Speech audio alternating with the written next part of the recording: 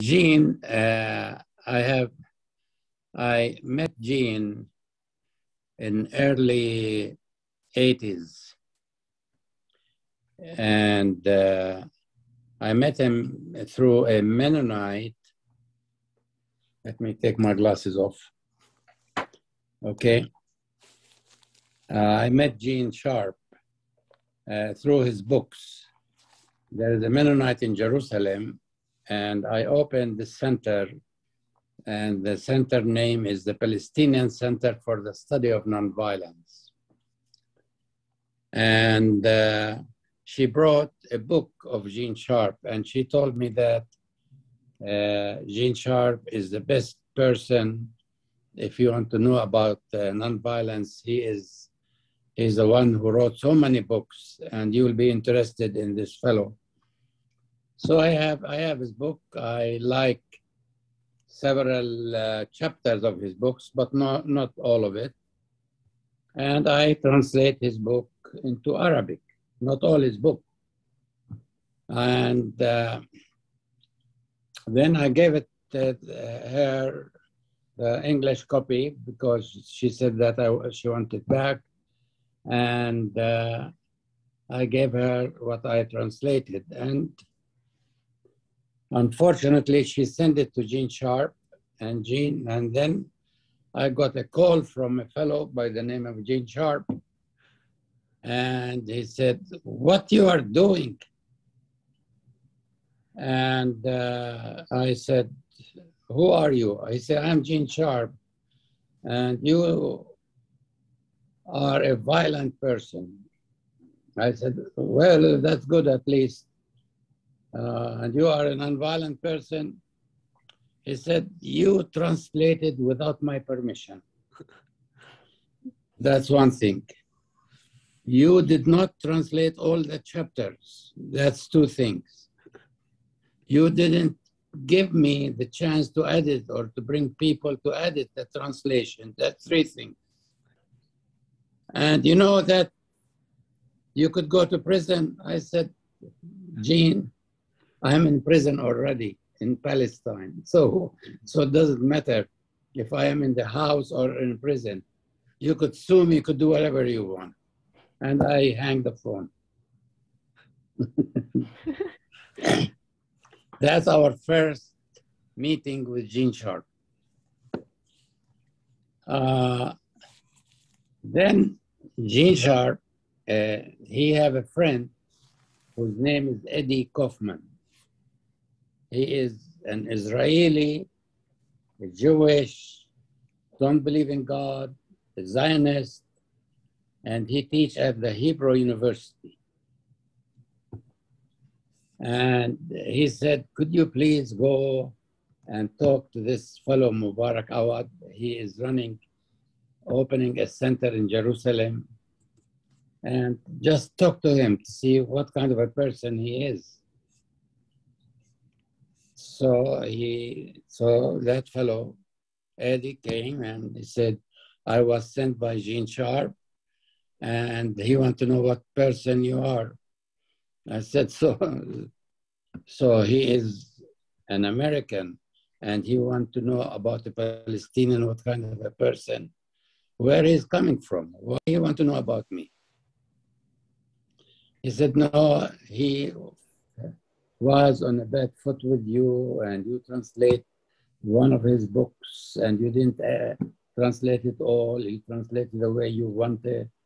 And uh, he is a scholar and he felt that if you translate his book to Arabic, then uh, in the Arab world, they think that he is a bad writer.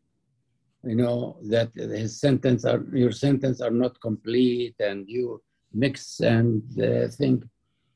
I said, Edy, as I told him, are you coming? You are an Israeli. You could sue me, and have your government sue me too say, no, no, no, no, no, he don't want to sue you. We don't want to sue you.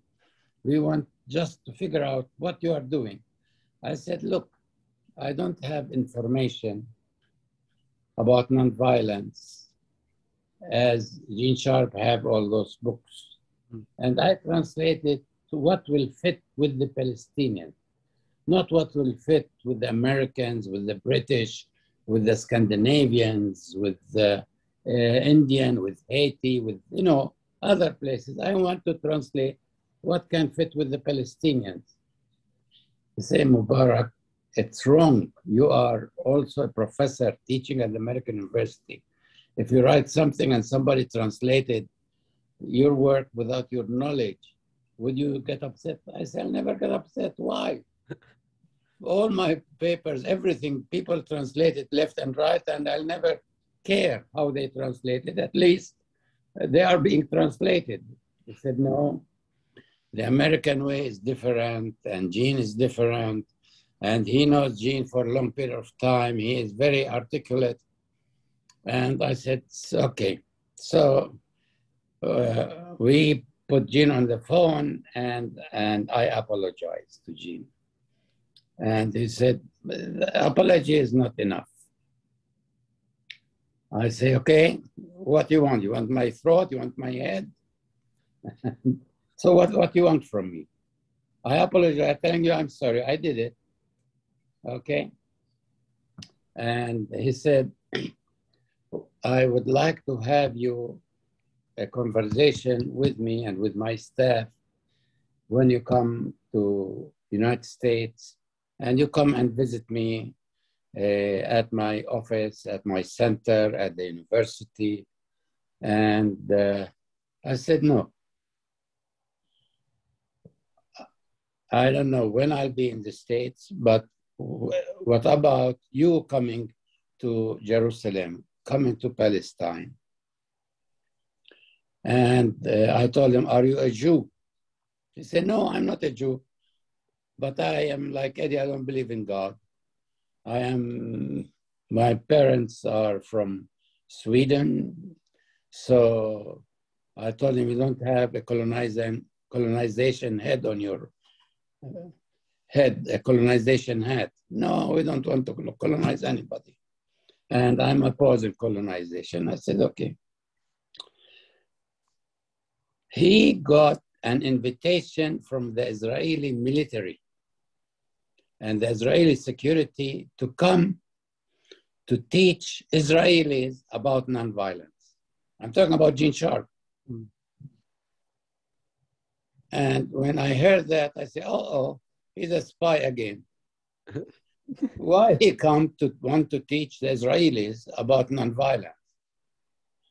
And the Israeli told him that there's a fellow, Mubarak Awad, his name, and he is making trouble for us. He doesn't want people to pay taxes, and he want to use Gandhi's method. He want to use Martin Luther King methods here, and we don't know how to deal with him. Hmm. So we asked you to come and to teach us how what is nonviolence, how it works, what to deal with it. And then when Gene Sharp told me that he's going to the Israelis, I, I really felt sad that he's going to go to the Israelis to teach them nonviolence. And I have to get over it fast because he came and he have three weeks. And in the three weeks, he never got in touch with me. And he was in the country for three weeks.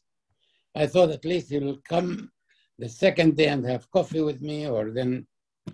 And then he decided, after he finished completely with the Israeli military and Israeli uh, security and Israeli psychologists and all those big wigs in Israel about nonviolence, he came and he said, I am now want to give you two weeks of my life. And you cannot imagine to give you two weeks of my life. is so important and so expensive. I say, I don't have money and I don't want two weeks of your life. Tell me what you want and we will have a discussion.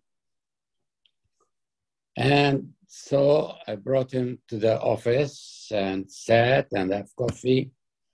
And uh, I invited Edy Kaufman. We went to have dinner. And uh, I find him he's a nice fellow.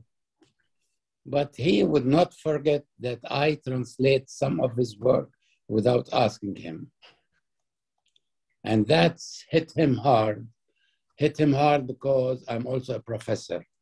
It hit him hard that I have no respect for his work. I said, okay, I got it, I got it. So, so do you have something else? He said, can you show me what you are doing? I said, so that you go and tell the Israelis. and he said, no, I already talked to the Israelis. I tell the Israelis everything about nonviolence. As much I will tell you and tell your people about nonviolence, I'll tell anybody from any government and from any revolution and from anybody. My thought of nonviolence is to spread the word of nonviolence to good people, to bad people, to military people, to everybody. And he was serious, so I accept that. I say, all right. Uh, tomorrow I have a meeting with the individual Palestinians who are young people who are really uh, willing to die and kill Israelis. Mm. And they, to them, if we kill one, if uh, the Israeli kill one person, we have to kill 10 Israelis. So that's our commitment to the cause of Palestine. And uh, I said, I'm going to meet with them. They all have guns, they all have, uh, uh, you, you name it, with weapons and everything. And if you'd like to come with me, because that's what I'm working with, these young people who are putting bombs around themselves and go and destroy a bus okay? And I could translate uh, to you, or I have my cousin Jonathan, he could come and translate it. So it's easier for me to stand beside you, but have Jonathan to translate. So we went to one place and around four, or five o'clock, very secret place even in a mm-hmm. refugee camp. And here the young people came with their weapons. And when they get in, I'll tell them, hey, put your weapons just over there. We don't need to carry them. Or if they are loaded, just unload them. And we have a fellow, his name is Gene Sharp. And I start speaking about Gene Sharp and we explain to them what, what he's doing. And uh, really, it was an amazing thing. They did not reject him, they did not accept him. And uh, he said, I'm scared to death with those young people because I, I felt that you are putting me here in front of people who are going to shoot me. I said, No, I come every day or every other day or every month when I meet those people really they are Palestinians. They want to resolve the conflict in violence, in non-violence, in good or bad, in any way they can. They don't want to be under occupation. And that's what I'm dealing with the Palestinian uh, on, on that concept, on that way of life, dealing with them. And uh, it seems that you don't know a lot about the Palestinians, except in reading books, and you are the first time getting into Palestine. So in this week, I'll be taking you to different refugee camps. I'll take you to different checkpoints. I'll take you to some examples of what we are doing, and you could make your judgment. And hopefully that your judgment okay? It's not that we want you to not to be against the Israelis. We want you uh, thoughts of your philosophy, of your ideas of nonviolence. He said, Mubarak, I don't have my own thoughts. What I did as a scholar, as a professor, is getting all and everywhere in the world about people using nonviolence. I make an, an analysis of it, and I will put it in writing for people like you to read it If you like it, use it. If you don't like it, don't use it. Give it to someone else. So this is what scholarship is. Hmm. Okay. I have never came to a place or protest groups like what you are doing here. I mean, this is something news to me that you come and you want to change the mind of those young people to be nonviolence. So, so our uh, friendship become a little bit closer because I, you know, I did not accept that he is the guru of nonviolence because he didn't practice it. And we practice it every day. Mm. We have the Israeli will uh, fire on us, will have uh, smoking guns on us, they'll have tear gas on us, they have tanks, they have bulldozers, they bulldoze our houses, everything. So I have to show, I showed him that for a week. And then we went different places. I took him to Ramallah. Mm. I took him to a group of uh, radicals and group of peaceful and group of women groups, uh, young girls group, uh, schools who I have been trying to in, introduce nonviolence to them and to let him ask questions of him, and he was responding very, very well. Uh, and then we went to Hebron, and I told him that uh, uh, in Hebron we have a project, and I would show him the project, but it's very touchy because the Israelis, they took the street and put fence in front, like two or three feet in front of the uh, Hebron merchants, two or three feet in front of the Hebron merchant. And it is around uh, probably four meters high. Okay? And if you want to get in, you have to search you to get in and to get out only in one place or the other, you get in and out. And, uh, and I told them, this is what we are doing. We are bringing buses from uh, every city in Palestine to come and shop in those, with those shopkeepers because the Israeli put a fence to scare people to come and they want them to lose money so they will uh, quit their shops. So our aim was to keep them going and to have other people to shop with them. And I went to many places like uh, uh, people, I'll ask them to give me a TV or five TVs or a refrigerator or a stove or for anybody who's shop, he will, he or she will take a, a card like a lottery thing, a paper with the numbers on it.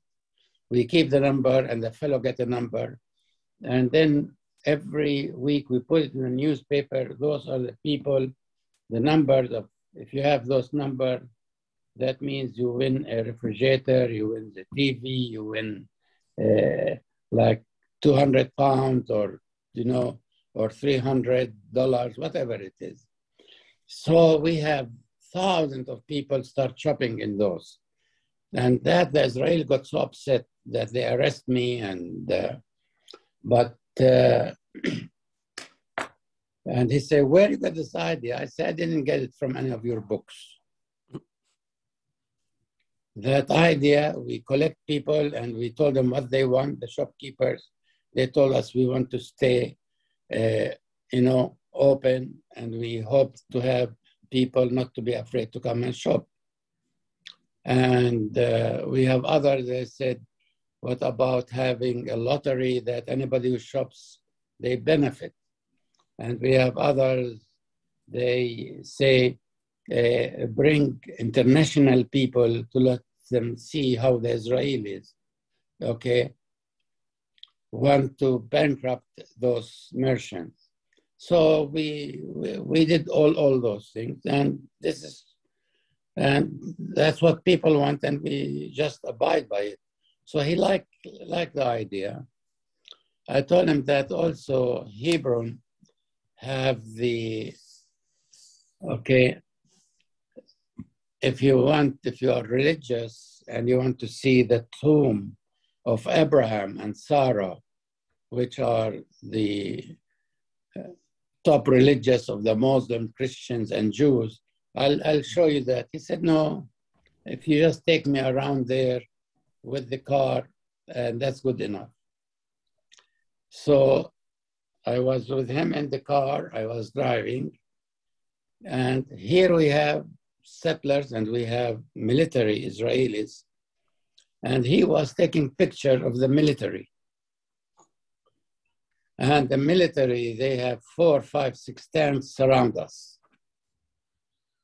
And I told Gene, you have red face, don't don't show that you are scared.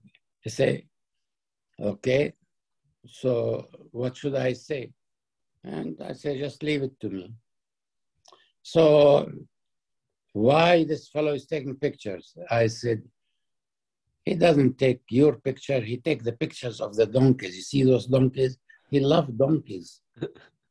and he take pictures of donkeys. So don't don't associate yourself with donkeys. He said, tell him, tell him to leave. He's not allowed to take pictures here. We are in the military.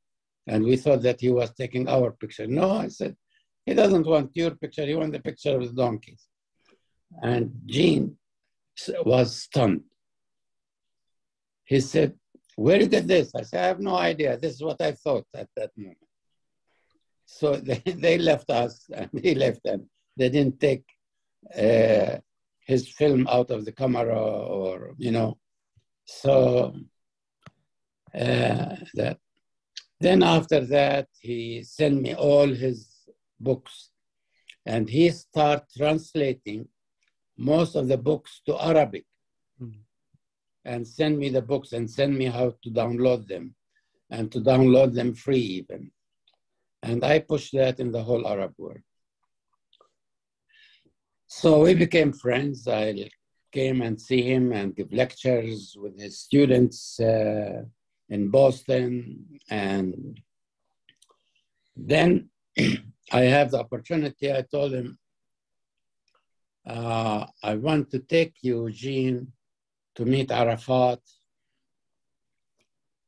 who is the head of the PLO in Tunis, and to discuss nonviolence with the top people of the Palestinian. Mm-hmm. Boy, he jumped to that fast. And before that, we have three days in Washington a discussion about what, with uh, some other Palestinian, how to approach Arafat in this nonviolence approach. We have one week and all the Abus you know, the Palestinian will call Abu this, Abu that, Abu that. All the leaders are Abus. And uh, we went and we really were very uh, much interested in so many of the questions.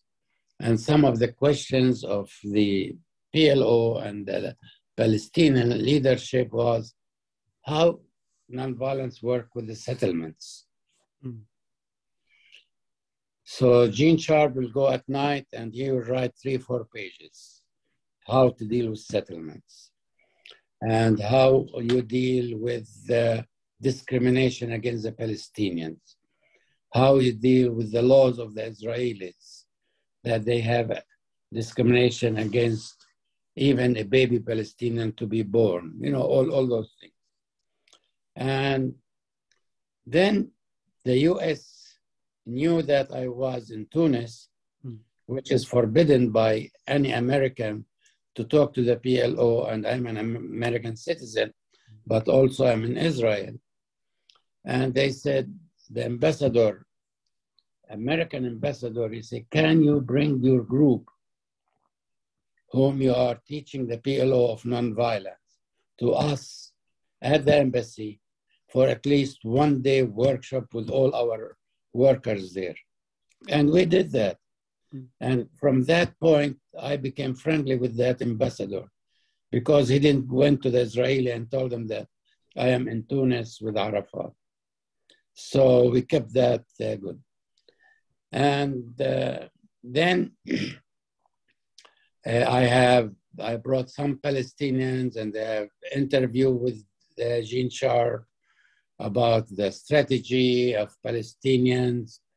Uh, a fellow by the name of Afif Safieh, who was uh, who was our ambassador, okay, in United States, that he have long, long interview with him, and then we start communicating well with him uh, and, and, until his he died, and we became very close friends. That he asked in in uh, his uh, last will that I will speak in his uh, memory, hmm.